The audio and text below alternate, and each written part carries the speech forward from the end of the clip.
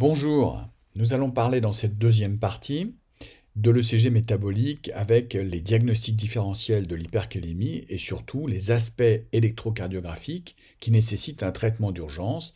On va voir que devant des signes cliniques et des signes électrocardiographiques qu'on appelle un syndrome hypercalémique, il faut traiter sans attendre et nous verrons les modalités.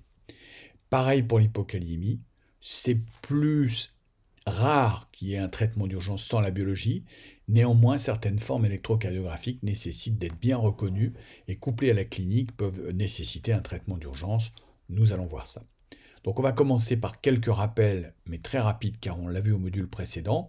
Les anomalies électriques qui sont évocatrices à l'étage atrial, c'est euh, la baisse de l'automatisme et le ralentissement de la conduction, ça donne des blocs, sinon atrial, interatrial et atrioventriculaire à l'étage ventriculaire, il y a des anomalies des QRS. Cette fois-ci, c'est plus de l'OMP de la conduction, mais c'est des anomalies très spécifiques hein, qui peuvent être très larges. Des ondaires en plan VR, on a vu ça. C'est très évocateur également. Il y a d'autres anomalies de la repolarisation très évocateur, comme l'aspect en stalagmite, hein, l'onde T+, le signe du scope, le ST-, T+, aspect cubiste, on les a vus la dernière fois. Surtout la phénocopie Brugada en V1, V2, mais aussi en VR.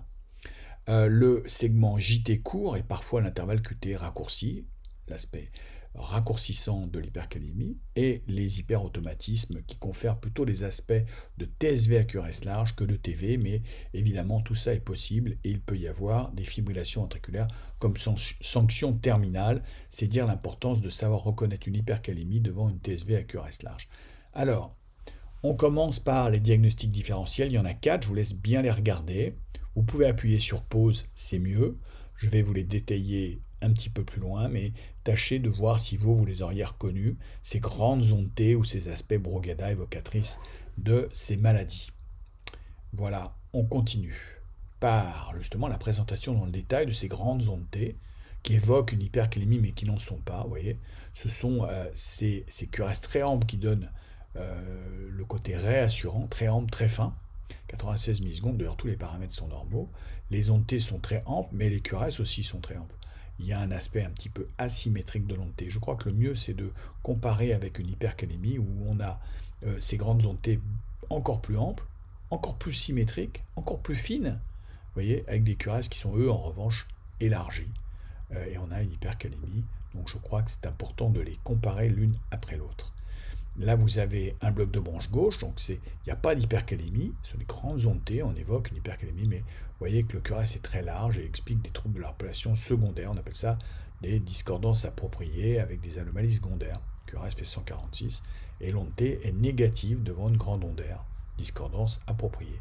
Tandis que dans l'hypercalémie avec PBG, on a une onde T positive du côté du QRS, donc c'est euh, ces grandes ondes T euh, positives alors qu'elles devraient être négatives, ce côté fin, stalagmite du QRS qui doit faire évoquer le diagnostic d'hypercalémie cachée derrière ABPG. C'est évidemment euh, très embêtant de rater ce diagnostic. L'ischémie aiguë est le principal diagnostic différentiel dans une situation un peu chaude de l'hypercalémie parce que les grandes ondes T peuvent être vraiment amples en dôme comme ça, mais en fait le diagnostic repose sur les QRS comme toujours voyez que les ondes sont rabotés, altérés, attaqués par l'ischémie. Le QRS est fragmenté, euh, fragmenté partout comme dans l'ischémie. Et puis ce côté onde de Pardy va être dynamique, hein.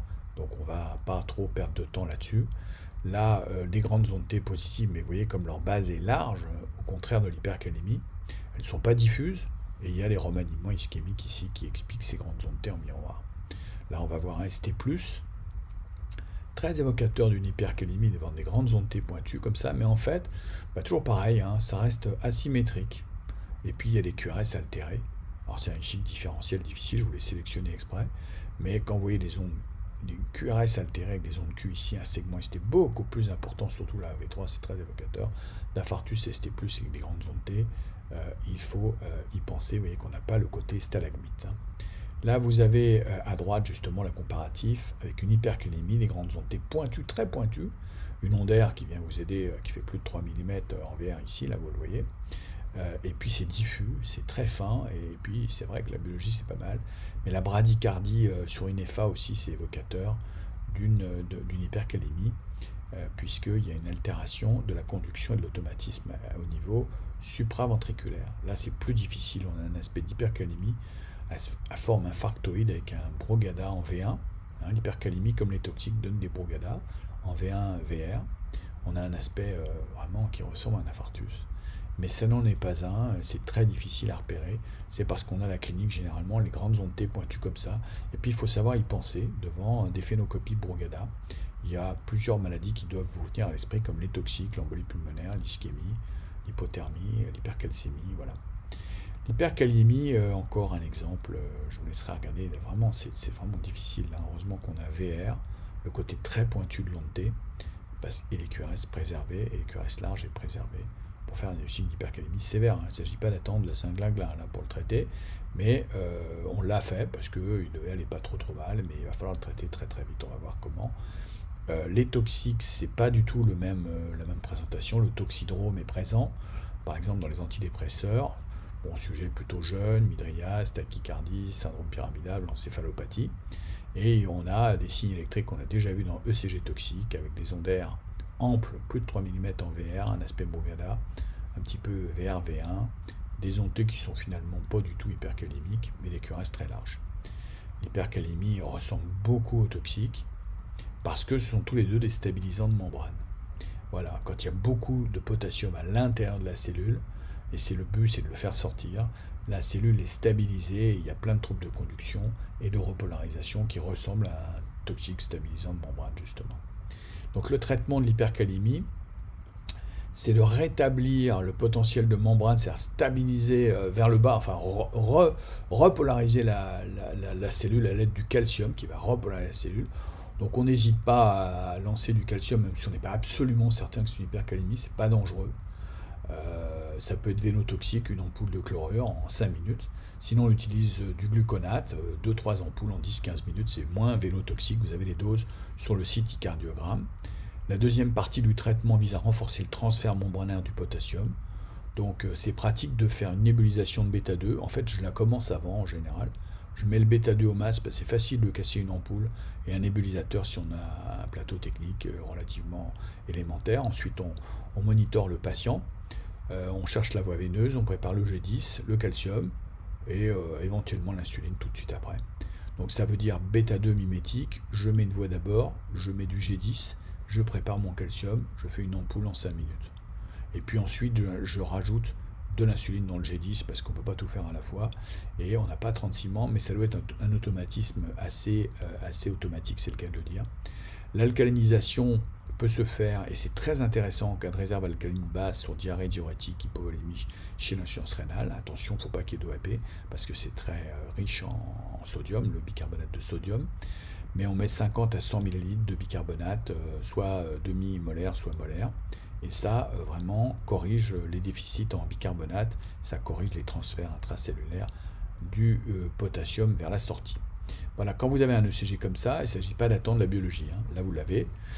Mais euh, évidemment, le malade est très mal, blanc, marbré, choqué, probablement encéphalopathe euh, par bas débit. Donc vous devez tout de suite injecter le calcium pour restaurer les QRS fins, ça marche très bien. Et vous, mettez votre bêta-2 ou votre insuline, moi je mettrais plutôt de l'insuline, j'aurais un peu peur de, l'hyperautomatisme induit par les bêta-2 là-dessus. Donc euh, du G10 avec de l'insuline ou des bicarbonates si c'est encore plus facile, le tout c'est d'aller très vite. Là, vous avez aussi un aspect très très inquiétant hein, avec des QRS extrêmement larges à 400 millisecondes. Là, c'est le calcium tout de suite. Vous pouvez mettre des bêta-2 parce qu'il est lent. Euh, c'est très pratique. Donc, euh, vous mettez le, G, le, G10, le calcium et les bêta-2. Ça doit aller assez vite. Hein. Il va falloir un petit peu réveiller tout le monde là parce qu'on n'a pas beaucoup de temps pour euh, attendre la biologie. Hein. Donc automatisme encore sur ce tracé de Smith, hein, que j'aime beaucoup, il y a beaucoup de choses sur son site internet, son blog. Euh, l'hypercalémie, voilà, ça ressemble à une TSV. Et puis, euh, et puis bah, des fois, euh, il faut y penser, parce que franchement, ça vaut le coup. Regardez comme l'ondaire est large ici par rapport à là. Là, on l'a corrigé, c'est la même chose, hein, c'est un bloc droit. Mais l'hypercalémie est présente là, c'est une tachycardie supraventriculaire à QRS large, très élargie à 200 millisecondes. Et il faut évoquer l'hypercalémie devant des tachycardies à 200 millisecondes. On met du calcium, bêta-2 mimétique. Moi, j'en mettrai pas là-dessus parce qu'il est rapide. Je commencerai par les bicarbonates ou l'insuline. Voilà, encore un dernier tracé. avant de passer à, l'hypocalémie. Euh, voilà l'effet des bicarbonates sur une, sur un, hypercalémie des QRS dit en lame de ça. Bon, c'est pas tellement évident là, mais vous voyez que les ondes T sont très amples. Euh, le, QT n'est pas si court que ça d'ailleurs. Le QRS est très dysmorphique et euh, on voit la correction après grâce au bicarbonate. Ça marche bien tout ça. Hein. Ça vous donne un petit peu de temps après pour peaufiner votre stratégie. Le tout, c'est de démarrer au moins un des traitements. Donc le plus rapide, c'est pas toujours le calcium. Le plus rapide, c'est à mon avis les bêta 2 ou le G10. Puis, euh, parce qu'on a besoin de la voie d'abord.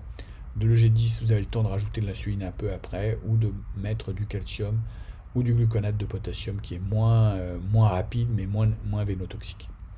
Le troisième partie du traitement vise à soustraire du potassium de l'organisme. Hein. c'est souvent euh, suffisant pour corriger une hypercalémie non menaçante, hein. c'est le traitement oral, donc le caexalate, ou alors le furosemide ou péros si la diurèse est conservée.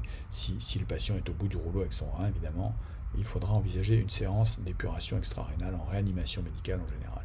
Traitement de la cause, les AINS, euh, le Crush syndrome, euh, les garrots euh, liés au Crush syndrome, évidemment, les diurétiques, les IEC, tout, ce qui est néphrotoxique, on arrête, on arrête tout ça, les anticorps antigitaliques s'il y a une hypercalémie induite par les digitaliques. Voilà les recommandations. L'hypocalémie va modifier la phase 3 du potentiel d'action, ici des potentiels d'action de l'endocarde et de l'épicarde, pour donner des modifications de l'onde T et de l'onde U. D'accord Ici, c'est le canal stabilisant euh, de phase 4, le, canal potassium repolarisant. Et, quand il y a beaucoup de potassium euh, dehors, euh, eh bien, alors qu'il doit être à l'intérieur, contrairement au sodium, hein, il y a 98% du potassium à l'intérieur de la cellule, très peu dehors. Et le sodium, c'est pareil. Il y a à peu près 6-7 millimoles de sodium à l'intérieur de la cellule et 140 dehors. Et Tantôt c'est lui qui rentre, tantôt c'est lui qui sort pour euh, restabiliser très très rapidement grâce aux canaux sodiques et potassiques la repolarisation. Donc on voit bien que tout ça va être modifié en cas d'hypocalémie parce que ça va euh, provoquer des modifications à type d'onde T aplatie, onde U pour éminente, sous décalage de ST, intervalle QT prolongé, intervalle PR prolongé. Ces cinq anomalies doivent être connues par cœur. On va essayer de les mémoriser ici sur ce petit dessin car l'hypocalémie évolue en quatre stades, un petit peu de façon schématique, hein, bien sûr. On a, vous voyez ici, des ondes T qui s'aplatissent de plus en plus pour devenir un sous-décalage de ST, c'est une mnémotechnique, et une ondue qui monte de plus en plus pour devenir euh, une ondue euh, qui allonge le QT et qui absorbe l'onde T.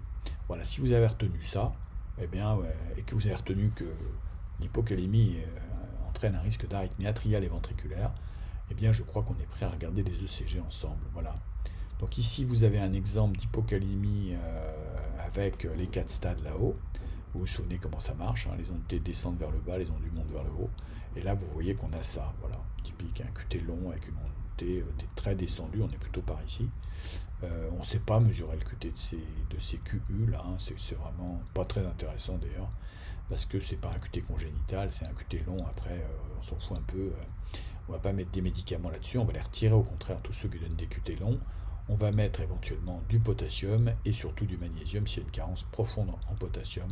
On va voir ça. S'il y a des troubles de l'extabilité ventriculaire, il faudra faire assez vite avec de la, forme IV et euh, du magnésium IV s'il y a vraiment des torsades de pointe, on va le voir tout à l'heure.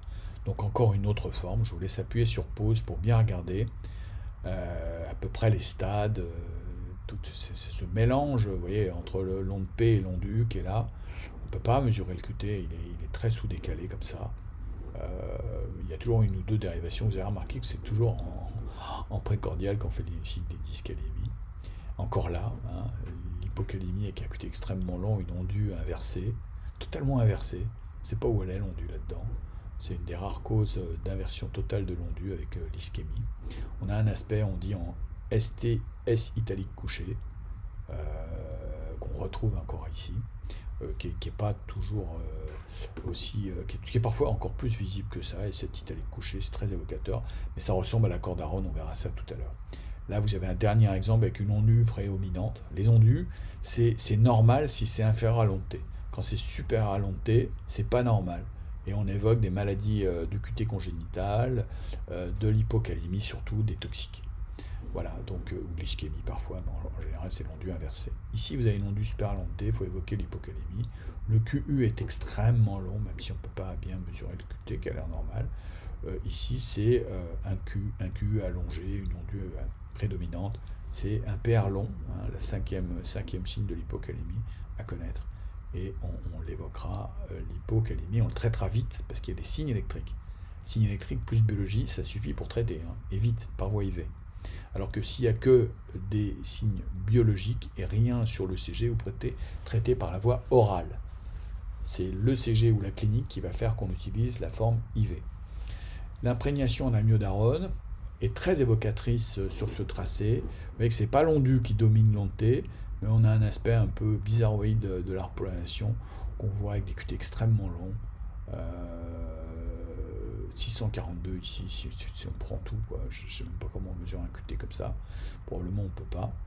Et euh, cet aspect, euh, plus la clinique de prise au long cours d'amiodarone, trop long cours, hein, les gens restent trop longtemps sous amiodarone, il faut toujours évoquer l'arrêt de l'amiodarone au bout d'un certain temps, car on a plus d'effets secondaires que de bénéfices.